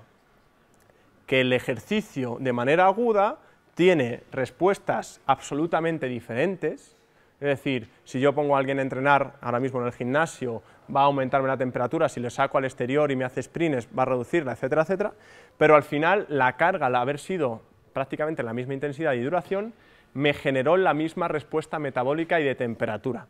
Es decir, podemos de alguna manera concluir que con la termografía puedo medir la carga de trabajo realizada por, un sujeto. Eh, y este, por ejemplo, es un ejemplo con una jugadora de, baloncesto también, 24 horas después de haber hecho un, partido, ¿vale? con una, una, diferencia significativa en esa rodilla, y cómo realmente es a las 48 horas cuando esa carga se está asimilando realmente. ¿Qué es lo que nos permite esto? Saber que durante esos dos primeros días tengo, de alguna manera, es decir, cuando existen esas asimetrías que, se, eh, perduran a lo largo del tiempo, es cuando tenemos que entender que eh, no existe una asimilación correcta, hay una inflamación que perdura en el tiempo y que puede estar hablándonos, por lo tanto, de un riesgo lesivo. Y precisamente ahí es donde tenemos que intervenir, modulando la carga y verificando cuánto tiempo tarda, eh, necesita para volver a un, entorno de neutralidad. Y esto es un esquema simplemente que, que, muestra la utilización del tamaño del efecto ¿vale? en dos jugadores de, edades diferentes, 24, 48 y 72 horas después de entrenar, perdón, después de un partido de competición. Y lo que vemos en naranja aparecen, bueno, esto está puesto de, de aquella manera, pero todo esto son zonas corporales, ¿vale? y en verde lo que aparece es el tamaño del efecto eh, con una tendencia hipotérmica, es decir, de descenso, y en naranja lo que nos aparece es una tendencia hipertérmica. Aquí no hablamos de asimetrías, hablamos de tendencias a lo largo del tiempo. Eh, esto lo podemos hacer con jugadores que estamos siguiendo durante una temporada y lo que nos indica que el jugador A, es decir, el jugador de 19 años, tiene un pico, asimila mucho más rápido la carga y que a las 24 horas es cuando nos está dando los picos, pero que a las 48 el tío ya está en valores basales. Y sin embargo, el, jugador de 38 años nos está dando los picos de valor en tendencia a las 48 horas. Y eso nos puede ayudar a regular la carga de esos dos jugadores y que al, que a las 24 horas está teniendo ese pico, puedo saber que el, segundo día puedo ya empezar a utilizar una carga que con el otro no. La pregunta clave es, bueno, claro, es que eso ya lo puedo inferir por, otros, por el GPS, lo puedo inferir por las sensaciones que me dice el jugador, y, os digo, por supuesto que sí, si es que al final esto es simplemente una herramienta que te va a confirmar lo que o puedes intuir o ya sabes por otras ramas, pero lo que te hace es asegurarte. Entonces, bueno, eh, simplemente para concluir, resaltar que la termografía es una herramienta eh, que yo creo que tiene como principales ventajas el hecho de que es rápida, que no es invasiva y que es objetiva, es decir, que es fácil de utilizar, que no hago daño a nadie y que lo que voy a obtener es absolutamente objetivo y cuantificable. Que sin embargo, ¿vale? a pesar de esos factores de influencia que hemos visto, si se utilizan las herramientas correctas, eh, puede ser perfectamente fiable y objetivo. Es decir, que evidentemente hay una fase, la utilización de la termografía de cualquier manera, pues a lo mejor es estéril, no es tan interesante, pero que utilizada correctamente puede sernos, eh, podemos aprovecharla y que se ha demostrado tanto a nivel científico como a nivel con resultados sobre el terreno que efectivamente mejora el rendimiento y la reducción de lesiones. Ahora bien, también como conclusión lo de siempre, eh, el hecho de que lo que os acabo de ilustrar es los resultados de un proyecto que tiene prácticamente menos de 10 años de recorrido en eh, pues eso, 35 artículos de científicos y 7 tesis, pero la verdad, ¿qué es eso? No es nada, hay muchísimo todavía por, investigar y estudiar, y es un, y es un terreno muy interesante. Entonces, em, ahora es el momento en el que se acaba la parte de la teoría y si queréis nos metemos con la práctica. Eh, ¿A quién le apetece? ¿Tenéis alguna pregunta? Sí. Eh, ¿Más o menos cuánto puede costar Sí, que os he vendido la moto perfectamente, pero el, gran problema que tenemos con la termografía es que sigue siendo una, es una tecnología cara, una tecnología cara para el bolsillo de cualquiera de nosotros. Una, la cámara que tengo aquí, por ejemplo, cuesta 10.000 euros. Uf, ahí... Eh, ahora, ¿alguno de vosotros, em, yo, yo ahora os pregunto, ¿sabéis lo que cuesta, yo qué sé, un ecógrafo? ¿Cuánto cuesta un, equipo de GPS, por ejemplo? Eh, el ecógrafo está en unos 20.000, eh, pues eso, la tensiomografía os suena, eh, una, tensión, una está entre 15 y 25 mil euros, depende de la... Eh, pues eso, cuando nos hablamos de tecnología, sí que es cara. Hay cámaras que son mucho más baratas. Hay, de hecho, ya FLIR, que es la, empresa con la que trabajamos, tiene cámaras de aproximadamente 200, 300 euros que se acoplan en el móvil. El problema es que, ¿os acordáis que antes hablábamos de la resolución, no?